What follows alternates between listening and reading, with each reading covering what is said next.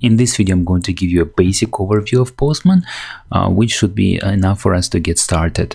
But Postman has many more good features which I might not cover in this video. So as you work on uh, your API, click around and try different things and see how they work and you will eventually discover all the nice things that Postman has. So when you start your Postman, you this will be the main work area. On the left side, you'll have two tabs, history and collections. History will record everything that you do and collections will have will help you organize your HTTP requests into folders and here you'll have three more tabs, all me and the team. On the right side, uh, you have the tabs area where you can start a new tabs where you can work on different HTTP requests. And the, the structure of this tab is basically you select HTTP method and then you provide request URL, you provide some of the parameters and headers. And then once you send the request, here you will see the response.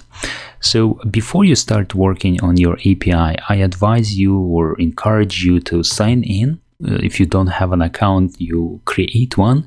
Uh, why this is helpful is because once you have an account everything that you do is recorded and then you can log out and go to a different computer for example your home office or your uh, office at work and then you sign in and your environment all the http requests that you have created they will be synced back and uh, restored on a new computer. So this is very convenient. For example i will sign in now with my google account I will allow Postman to have access and right now it's connecting uh, and uh, it will sync and bring back the some of the collections that I have and they will appear here on the left side. So if I switch to history, I'll see some of the recent HTTP requests that I have tried. And here on the collection, right now I'm on the Teams uh, tab, which does not have anything. But if I switch to me, here I have a few collections. And uh, you can click on collection to expand for example, Postman Echo is one of the collections that is shipped together with the Postman. I did not create this collection. So let's try sending a couple of HTTP requests. For example, I'll select request methods here. And here I have different HTTP requests, get, post, put, patch, and delete. I'll select first one, get request, and it was opened in a new tab. If I wanted to open a new HTTP request in a different tab, I will first start a tab and then I'll click on HTTP request to load in a new tab and then I can quickly switch between tabs. I'll close this one for a while. So here I have get HTTP request and I could choose a different HTTP method, but uh, we're going to continue with get. And here we have a request URL with some of the parameters passed through the query string. Now this is traditional way of passing parameters. In this course we're going to design RESTful API. We're not going to use query string, but these parameters uh, you can always try and experiment and use query string of course. If you click on this params button, it will open up a panel where you can add more parameters. For example, if I wanted to add new request parameters, I can type here uh, name and then it adds it immediately to query string and then value, for example, Sergey. And you see it added ampersand and then name equals Sergey. And then I can add email and it continues to build query string. And I can delete parameters or I can reorder them, for example, if I needed to, and so on. This button is basically allows us to execute this HTTP request, but if you wanted to send HTTP request and download results, we could use this one. If we save this HTTP request, it will invite us to create a new collection. So for example, I can save as or because this one is uh, existing if I click on save it will overwrite the existing request but if I save as it will open this panel where I can choose request name. For example, I'll choose test and then which collection folder would uh, I would like to store it. I can select one of the existing ones or I can create a new one, for example, test. And then I click on save and here I have a new collection with only one HTTP request created. Okay, so to send this HTTP request, I simply click on send button and uh, we have now let's hide parameters. Here below we have the response panel. And response panel contains also a few tabs. The very first one is body. And then we have cookies and headers and so on.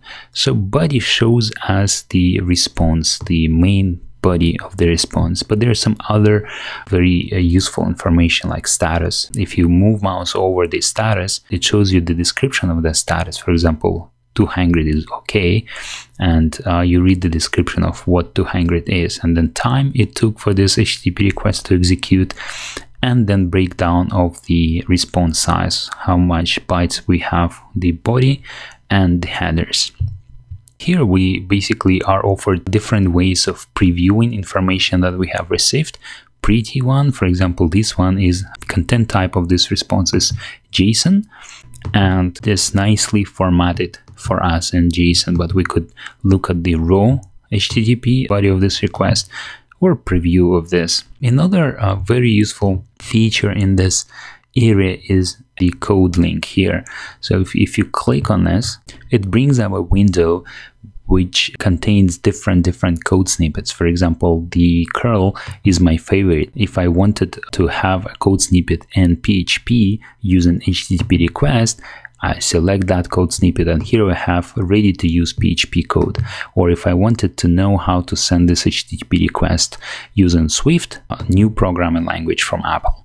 I, I select this option and I have an example of how to execute this HTTP request that I've created in Swift language or if I wanted it to have in Java, here's the Java code. So this is an awesome feature that Postman offers. So if I, for example, select curl, then I can uh, copy this HTTP request and I can run it from the terminal window. So I, I paste it here and I hit enter and here we have the HTTP request and I can copy this value and send to my developer, a friend who can also test it on his computer. So curl is very convenient. So this one uh, was HTTP GET, but we can select another one, for example, HTTP POST. And HTTP POST a bit different from GET when we are sending HTTP POST request, but we don't pass parameters in a query string like, like this, uh, name, uh, let me type name equals Sergey.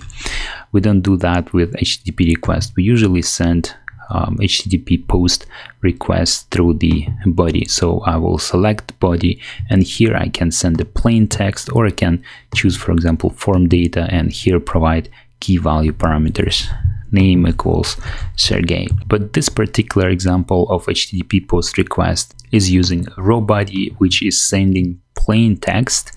And let us send this request but before I do let me show you another very nice feature that Postman has and it is called um, console. Show Postman console. So if I open up Postman console I will be able to see more details about HTTP request and response. So let me send this. And once I get a response here I can switch back to console and expand it a little bit here and click on the entry here and I can see HTTP uh, headers in details and then I can see response headers in details and here we have the body of the response and the body of the request. So very convenient feature uh, the console is. And uh, once you've finished working, you can sign out of uh, your account and it warns you that once you sign out the data will be removed. So don't worry you can uh, sign out and close everything. And once you sign in again on a different computer or on the same computer this data is, uh, is going to come back and synced um, back to your computer. So if I sign in again with my account and wait for a few seconds for this for Postman to sync uh, I will switch to collections. Here we have, this is the test collection and this is the test HTTP request.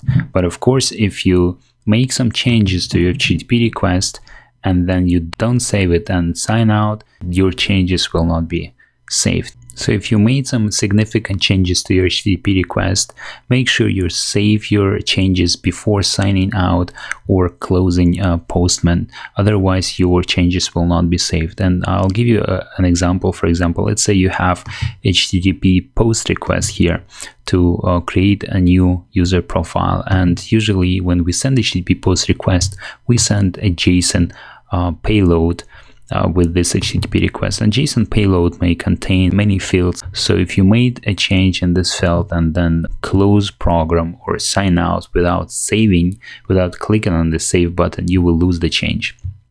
So make sure you save before you close the Postman. And this is it for this short introduction to Postman. Of course, Postman has many more uh, nice features, but uh, these features that I have introduced you in this video will be the most commonly used in this video course as we work on uh, designing our RESTful API.